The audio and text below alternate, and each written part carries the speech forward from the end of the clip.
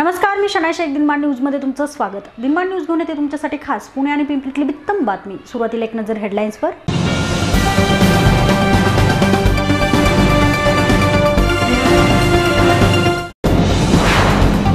राष्ट्रीय ऐक्य आणि देशभक्ती यांचा वापर करत खोट्या राष्ट्रवादाला घातलं जातं खतपाणी.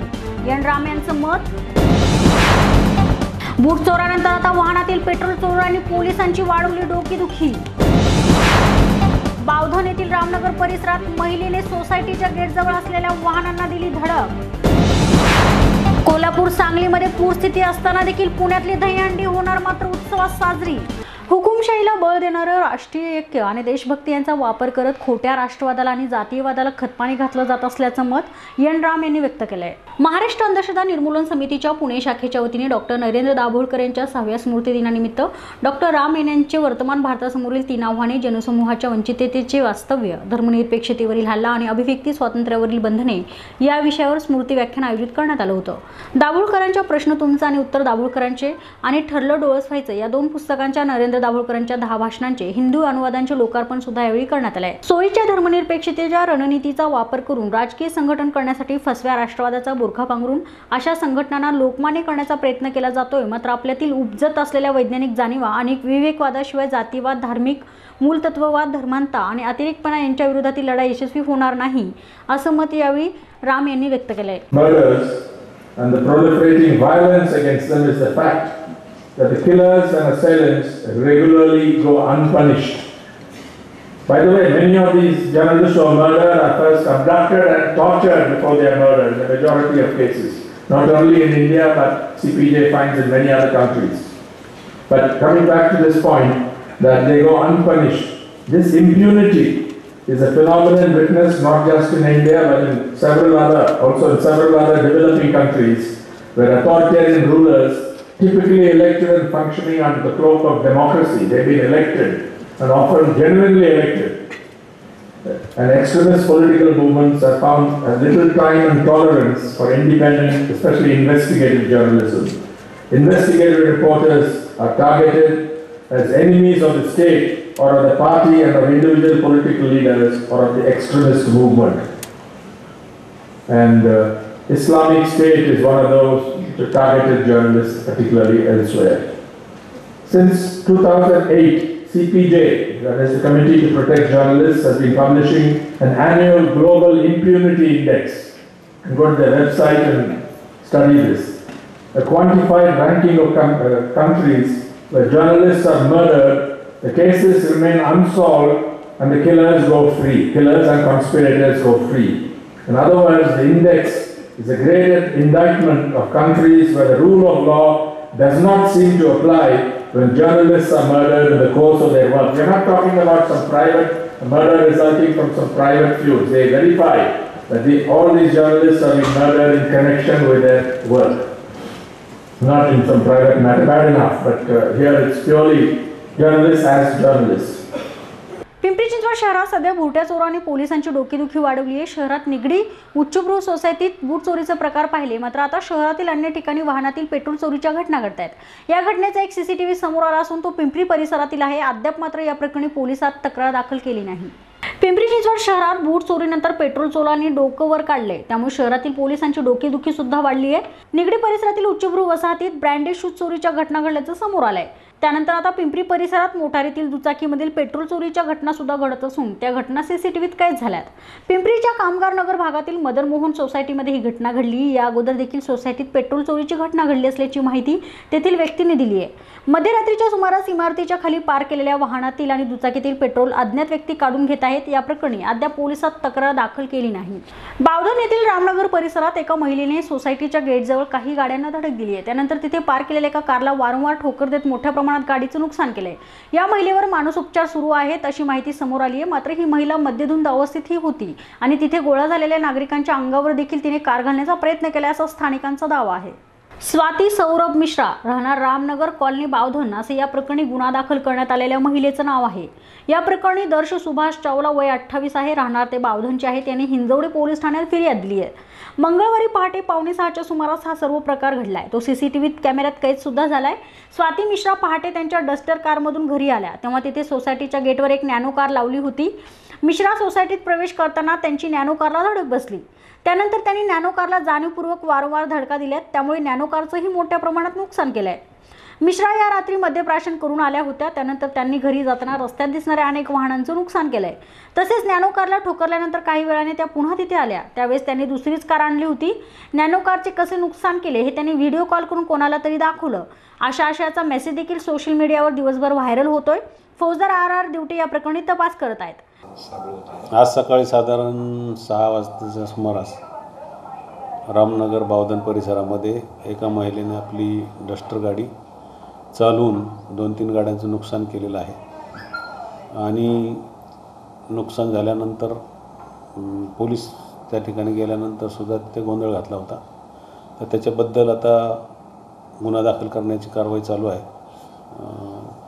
योग्य ती कायदेशीर कारवाई पोलिसाकडून करण्यात येईल. तिचे काय आता मेडिकल केल्यानंतरच कळेल म्हणजे त्यात काय दारूचा काय परिणाम आहे का दुसरं काही इतर प्रॉब्लेम आहे हे तपासामध्ये आपण निष्पन्न करू. सर किती गाड्यांची तोडफोड केली? तीन. पहा स्वाती सौरभ मिश्राने कसं कारचं नुकसान केलंय. ना पता करके आओ तुम लोग. नाम दो नंबर दो अपना. तुम दोनों तुम दोनों आए हो ना? तुम लोग पुलिस पुलिस वाले हो ना? हाँ तो चलो अपना अपना नंबर दो। तुम्हारा काम है हमारी मदद करना। हमको पता लगा के दो कौन कर रहा है। हमारा हमको हम में से हम, हम, तो आपने पीछे जो गाड़ी ठोकी है वो हमारी गलती थी क्या? मेरी गाड़ी क्यों ठोक दी आपने? अच्छा ठोक। मैं आपके पीछे पड़ा हूँ क्या जो आप मेरी गाड़ी ठोक रहे हो? आइटम ठोक दो जो ठोकना ठोक दो। पहले पहले, पता करके आओ पूरी पब्लिक का कल तो पब्लिक को उड़ाऊँगी मैं? आज तो गाड़ी उड़ाइए कल पब्लिक को उड़ाऊँगी खड़े खड़े। रुकिए ना इज़्ज़त की बारह बजाए हो ना तुम आदमियों ने मेरी। आदमी वहाँ मिलके यूरिस्का में मेरी पूरी तहस नहस वहाँ पे नचवाते थे मुझको वहाँ पे वीडियोस बनाते थे। वहाँ पे क्या नुमाइश चल रही है क्या मेरी? नंगी होके खड़ी हो जाऊँ सड़क में या तो बोलो तुम लोग। अभी कपड़े खोल। क्या? वो मैडम तुम लोग खड़े हो? खोल दूँ क्या कपड़े? खोलू कपड़े?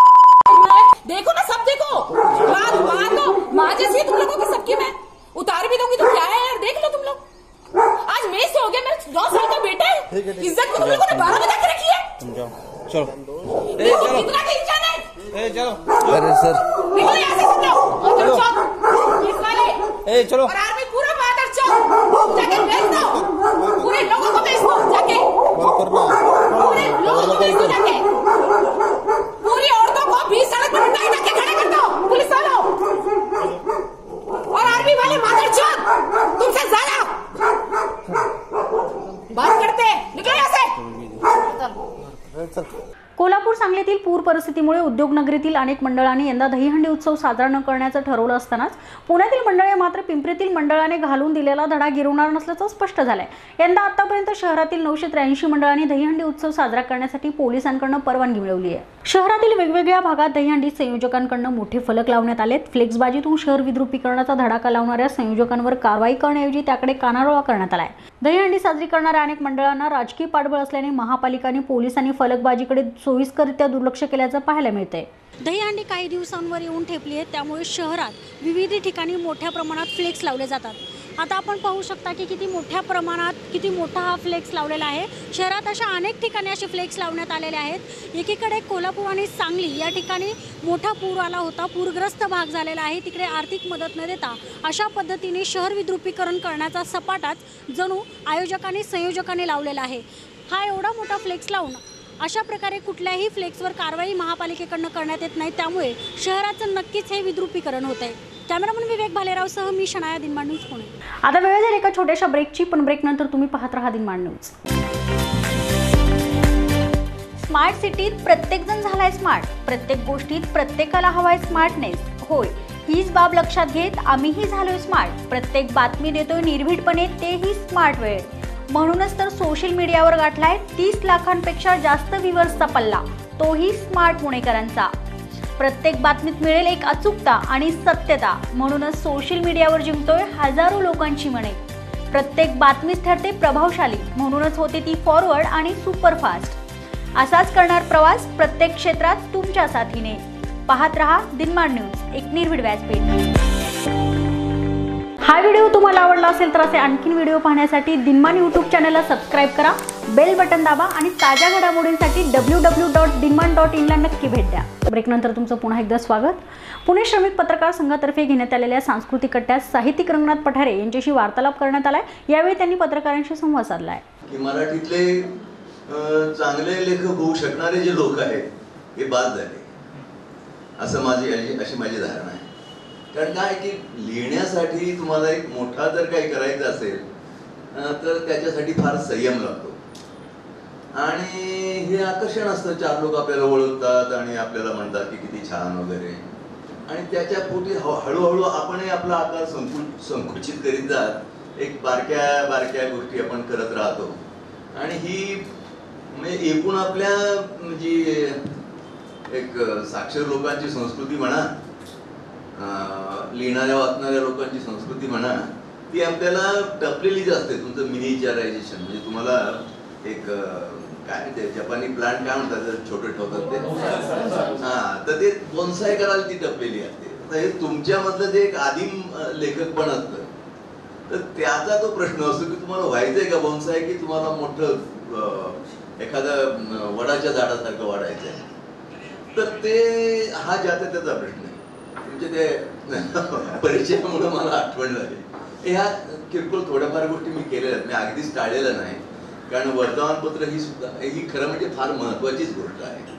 आणि जबाबदारीनी जबाबदारीने सर्व पातळ्यांवर आज नुसती लिखित म्हणजे वृत्तपत्रातलाच प्रश्न नाही हा इलेक्ट्रॉनिक मीडियाचा विषय तर फार मोठा प्रश्न आहे की पत्रकारिता ही जबाबदारीने होणं हे आपल्या लोकशाहीच्या भवितव्याच्या दृष्टीने आपल्या जनसामान्यांच्या निर्भयतेने व्यक्त होण्याच्या दृष्टीने अतिशय महत्त्वाचा असा स्तंभ आहे आणि हा स्तंभ हे काम सगळ्यात जास्त ताकदीने करू शकतो.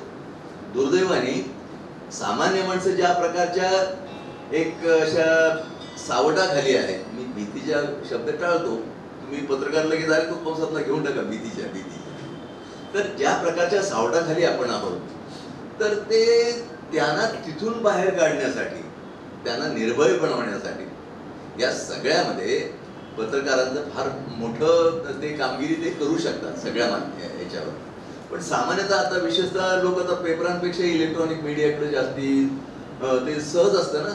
लगेच तुम्हाला हे करता येतं. आणि इलेक्ट्रॉनिक मीडिया अलीकडे हे मला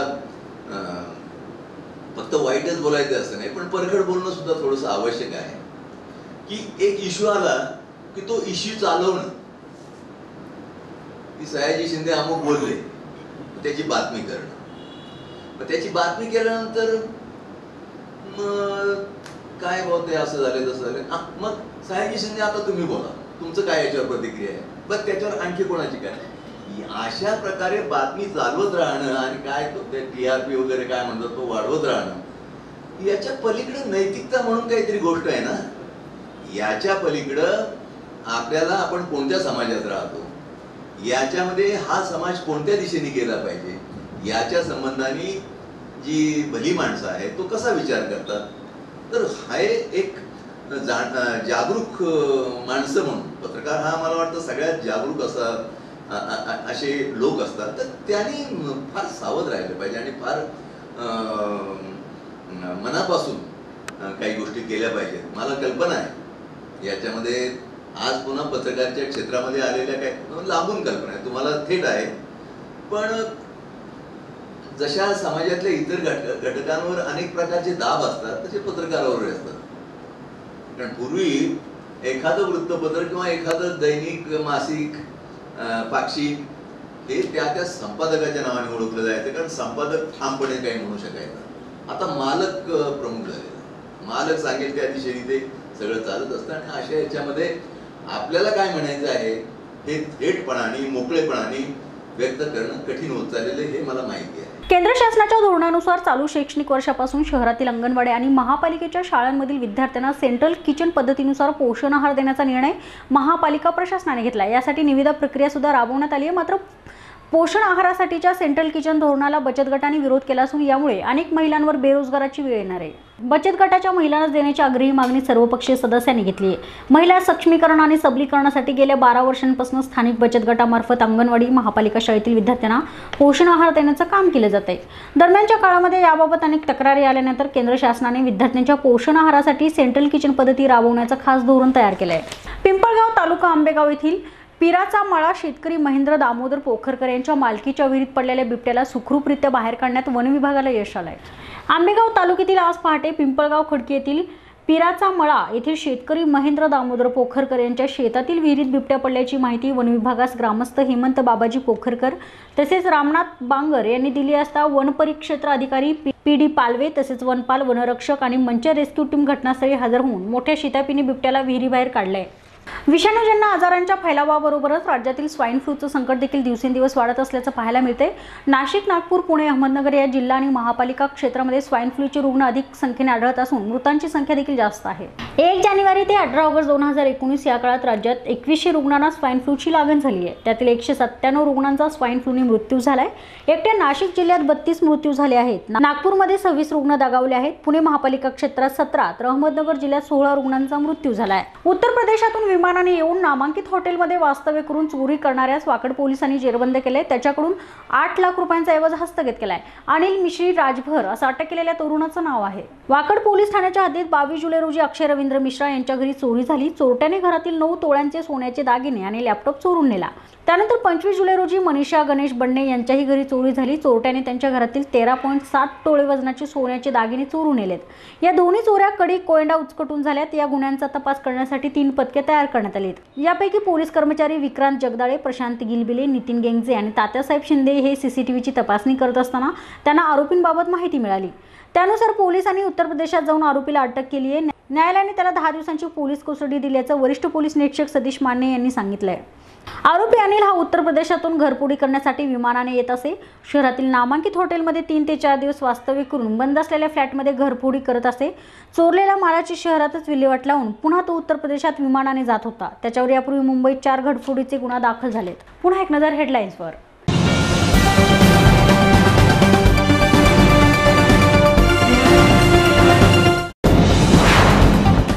राष्ट्रीय ऐक्य आणि देशभक्ती यांचा वापर करत खोट्या राष्ट्रवादाला घातलं जाते खतपाणी.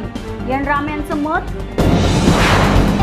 बूट चोरानंतर आता वाहनातील पेट्रोल चोरांनी पोलिसांची वाढवली डोकीदुखी.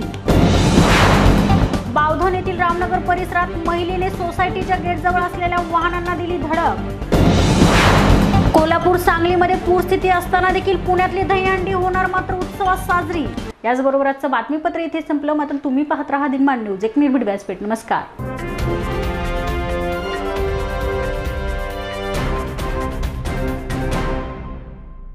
हा व्हिडिओ तुम्हाला आवडला असेल तर असे आणखीन व्हिडिओ पाहण्यासाठी दिनमान यूट्यूब चॅनलला सबस्क्राईब करा. बेल बटन दाबा आणि ताज्या घडामोडींसाठी W W dot Dinman dot इनला नक्की भेट द्या.